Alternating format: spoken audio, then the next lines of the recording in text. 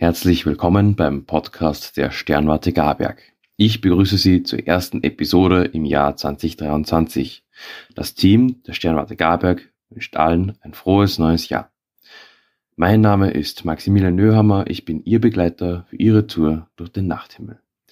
In dieser Episode gibt es eine kurze Vorschau über die wichtigsten astronomischen Ereignisse im Jahr 2023 und einige Informationen zum Monat Jänner.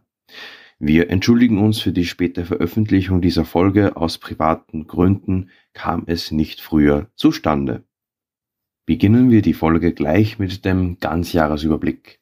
Anfang Jänner können wir einen der aktivsten Meteorschauern des Jahres beobachten, die Quadrantiden. In einer Stunde können zwischen 60 und 200 Meteore gesichtet werden. Leider fällt die Spitzenzeit heuer genau zwei Tage vor den Vollmond sprich die war schon.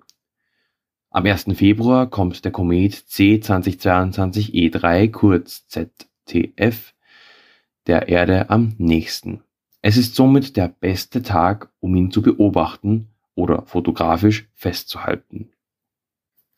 Es ist ein langperiodischer Komet, der im März 2022 in den USA entdeckt wurde. Anfangs wurde er für einen Asteroiden gehalten, das entdeckte kondensierte Koma wies aber auf einen Kometen hin. Am 20. April findet eine hybride Sonnenfinsternis statt, die aber leider von Europa aus nicht beobachtet werden kann. Am 5. Mai findet eine partielle Halbschattenmondfinsternis statt. Der Eintritt in den Halbschatten ist um 17.12 Uhr und der Austritt um 21.34 Uhr. Am 13. August ist Höhepunkt der Perseiden. Es ist einer der häufigsten und beliebtesten Meteorströme des Jahres. Bis zu 100 Meteore können über den Nachthimmel fliegen und aufleuchten. Dieses Jahr sind die Beobachtungsbedingungen sehr günstig, da der Höhepunkt zwei Tage vor Neumond liegt. Am 27. August steht Saturn in Opposition. Einmal im Jahr passiert die Erde zwischen den Saturn und der Sonne. Der Ringplanet steht also dem Stern am Himmel gegenüber. Wenn die Sonne im Westen untergeht, geht Saturn im Osten auf. Der Planet erscheint zu diesem Zeitpunkt heller und größer als sonst.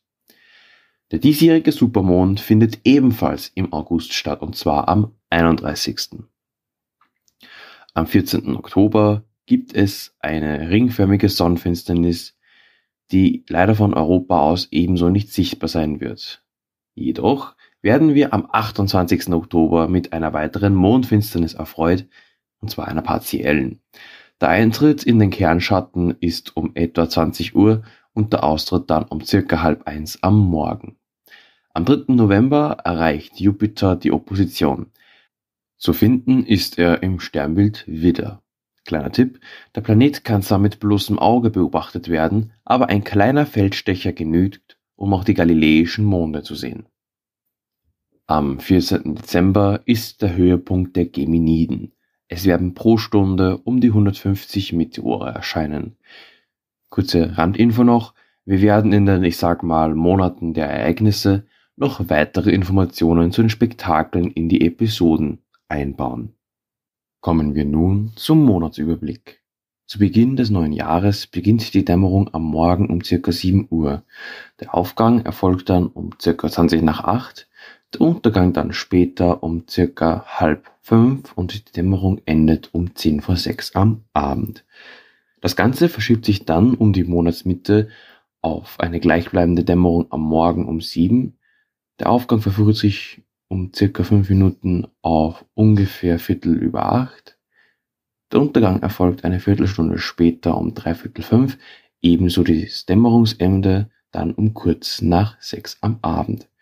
Gegen Ende des Monats Jänner und Anfang des Monats Februar verfrüht sich die Dämmerung um 20 Minuten auf 20 vor 7, ebenso der Aufgang um kurz vor 8.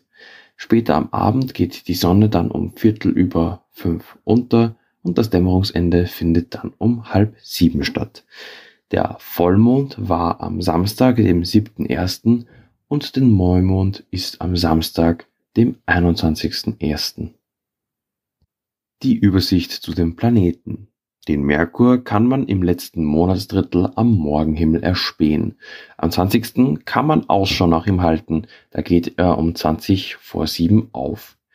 Gegen halb acht verblasst er langsam. Die Zeiten verändern sich bis Ende des Monats nur unwesentlich. Die Venus startet in das Jahr als Abendstern. Am 1. geht sie um 10 vor 6 unter, was sich bis Monatsende auf circa 20 nach 7 verschiebt. Mit dem Teleskop kann man erkennen, dass das Scheibchen fast komplett beleuchtet ist. Ebenso wie die Venus startet auch Mars am Abendhimmel ins Jahr, hoch am Südhimmel. Am 1. geht Mars um circa 20 nach 6 unter, bis Februar verfrüht sich das Ganze auf halb fünf. Jupiter und Saturn schließen sich den beiden an.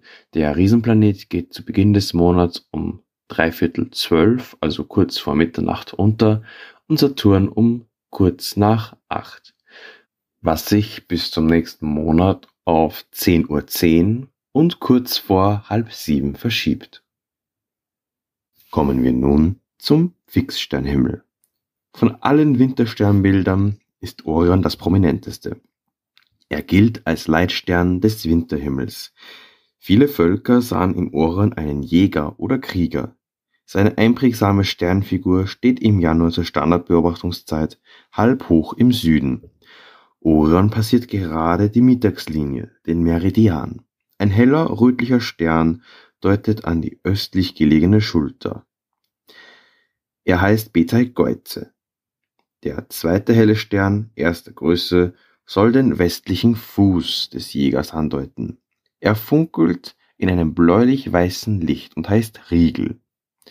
Betelgeuse und Riegel sind arabische Namen und bedeuten Schulter und Fuß. Von Betelgeuse trennen uns nach neuesten Daten 650 Lichtjahre. Riegel ist rund 850 Lichtjahre von uns entfernt. Da Riegel trotz seiner relativ großen Entfernung dennoch zu den hellsten Sternen am irdischen Firmament zählt, muss seine wahre Leuchtkraft enorm hoch sein. Tatsächlich leuchtet er so hell wie 60.000 unserer Sonnen. Zwischen Betelgeuse und Riegel stehen drei Sterne zweiter Größenklasse auffällig in einer Reihe. Sie sollen den Gürtel des Orion darstellen. Tief im Südosten flackert unübersehbar der blau-weiße Sirius. Er ist der Hauptstern des Sternbildes Großer Hund. Sirius ist der hellste Fixstern am irdischen Himmel. Nur noch Venus und Jupiter sowie gelegentlich der Mars übertreffen Sirius an Helligkeit. Mit 8,6 Lichtjahren Entfernung zählt Sirius noch zu den Nachbarsternen unserer Sonne. Ein wenig höher als Sirius steht der gelbliche Stern Procyon im kleinen Hund. Procyon bedeutet auf Griechisch so viel wie Vorhund, denn er geht in unserem Breiten vor Sirius auf und kündigt mit seinem Auftauchen am Osthorizont den baldigen Aufgang des Sirius an. Ebenso wie Sirius besitzt Procyon einen weißen Zwergstern als Begleiter. Procyon ist 11,5 Lichtjahre von uns entfernt und gehört damit wie Sirius zu den Nachbarsternen unserer Sonne. Blickt man senkrecht nach oben, so sieht man einen hellen gelblichen Stern erster Größenklasse, die Capella, Hauptstern des Fuhrmanns. Der Sage nach ist der Fuhrmann der Erbauer des Himmelswagens. Knapp südwestlich vom Fuhrmann ist der Stier beheimatet mit seinem orange-gelben Hauptstern Aldebaran. Und natürlich den beiden offenen Sternhaufen der Hyaden und der Plejaden. Von Aldebaran trennen uns circa 67 Lichtjahre. In diesem Jahr hält sich, wie erwähnt, gerade der auffallend helle rötlich gelbe Mars im Stier auf. Dem Stier folgen im Tierkreis die Zwillinge, die im Wesentlichen von zwei Sternenketten dargestellt werden. An den östlichen Enden beider Ketten stehen die zwei hellen Sterne Castor und Pollux. An die Zwillinge schließt sich im Osten der unscheinbare Krebs an, in dem der offene Sternhaufen Krippe M44 zu finden ist. Die Sterne der Krippe sind 600 Jahre Lichtjahre entfernt. Die hellen Sterne Capella, Aldebaran, Rigel, Sirius, Procyon und Pollux bilden das Wintersechseck. Es ist gewissermaßen das Gegenstück zum Sommerdreieck. Tief am Osthimmel macht sich ein Vorbote des kommenden Frühlings bemerkbar. Der mächtige Löwe mit seinem Hauptstern Regulus ist soeben aufgegangen. Auch die Milchstraße schmückt den Winterhimmel. Das Band der Milchstraße steigt im Südosten empor, durchläuft den Scheitelpunkt oder Zenit und sinkt zum Nordwesthorizont hinab. Allerdings sieht man das zart schimmernde Lichtband nur fernab irdischer Lichtquellen, die leider den Nachthimmel immer mehr aufhellen und verschmutzen.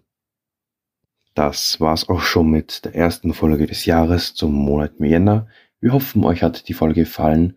Abonniert uns gern und empfehlen Sie uns weiter. Fragen, Anregungen und etc.